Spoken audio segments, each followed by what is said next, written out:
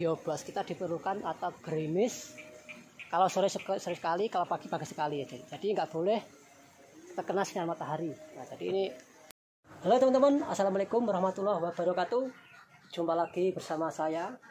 Oke di video kali ini kita akan mereview yaitu menyemprot padi 20 hari setelah tanam ya teman kita mau menggunakan pupuk hayati biobos ya teman-teman dan caranya sendiri ya kita mau memberitahu cara aplikasi bubuk hayati biobos ya untuk pencampurannya oke?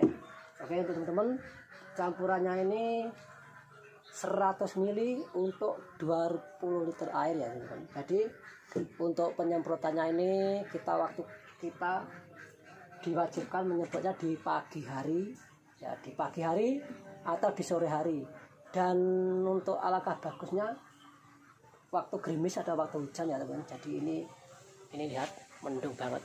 Ini lihat mendung. Sudah waktunya hujan mau gerimis kita mau nyemprot oke? Kita mau cara aplikasi pupuk hayati ya teman-teman.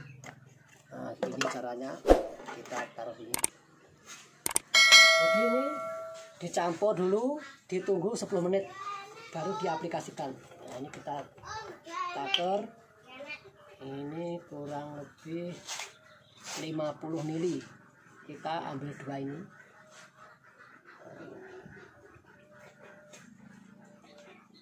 Ini satu.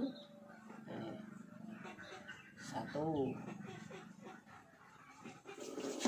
Ini gini ya kelihatan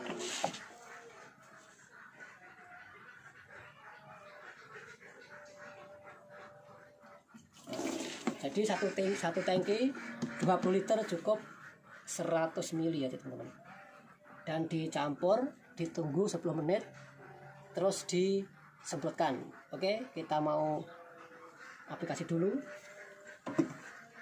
Nah ini. Jadi ini nggak boleh dicampur sama pestisida lainnya ya teman kita khusus untuk ini saja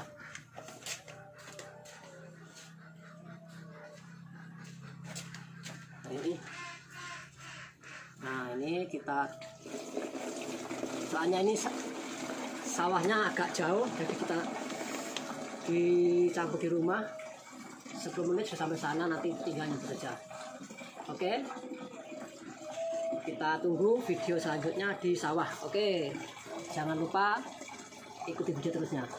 Oke teman-teman kita sudah sampai sawah. Ini kita tinggal mengaplikasikan penyemprotan ya ini. Penyebutannya ini ini perbandingan ya teman-teman. Kita taruh kamera belakang saja biar enak. Oke. Ini ini yang nanti saya akan review selanjutnya. Yang ini enggak pakai biobos dan yang ini pakai biobos pupuk, pupuk bionik ya teman-teman. Jadi kita lihat hasilnya nanti. Kita tunggu seminggu atau dua minggu. Nah ini yang sebelah sini kiri enggak pakai biobos yang sini pakai biobos ini yang tepi jalan ya lihat nah ini kebenaran sekali ini gerimis ya teman-teman. Nah gerimis kita semprot. Ya kita pas waktunya tepat sekali untuk menyemprot ini karena diperlukan untuk gerimis ya teman-teman. Teman-teman nah ini waktunya sangat-sangat cocok sangat mendukung hari ini karena hujan lama nggak hujan. Jadi kita kalau waktu kalau penyemprotan ya teman-teman pakai biobas kita diperlukan atau gerimis kalau sore sore sekali kalau pagi pagi sekali ya jadi nggak boleh terkena sinar matahari. Nah jadi ini syukur alhamdulillah ini uh, turun gerimis sedikit ya. Nah nanti kita perbedaan ini. Yang tepi jalan ini pakai biobos yang sini nggak pakai ya. Nanti kita dua minggu lagi kita review mana yang lebih bagus ya teman-teman. Nah ini semoga video ini untuk para petani-petani di Indonesia memotivasi ya supaya bersemangat ya. Karena petani itu keren ya guys. Oke assalamualaikum warahmatullahi wabarakatuh. Semoga bermanfaat. Kita mau menyempet guys petani itu keren. Oke sampai jumpa lagi di video berikutnya. Bye bye